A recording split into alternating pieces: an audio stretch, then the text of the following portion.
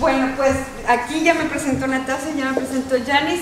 Repito, me llamo Alda Rosa Roxana Cárdenas, pero me dicen Rox. Y este, estoy muy contenta de estar con ustedes.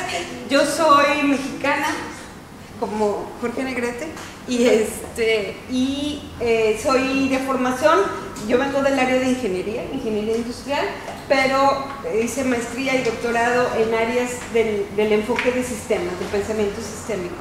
Eh, tengo ya mucho tiempo, yo creo que el objetivo es como que salvar el mundo. Para mí la estrategia era empezar en México, pero ya me di cuenta que me vi muy corta, entonces este, hay, que, hay que trabajar la estrategia de manera más amplia.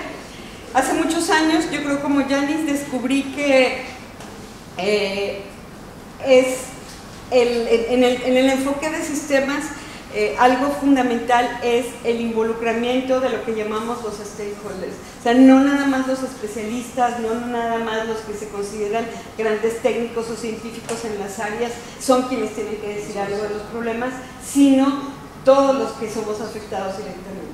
Y bueno, a través de ese proceso finalmente me involucré en, en la planeación, actividades de planeación y sobre todo actividades de planeación participativa.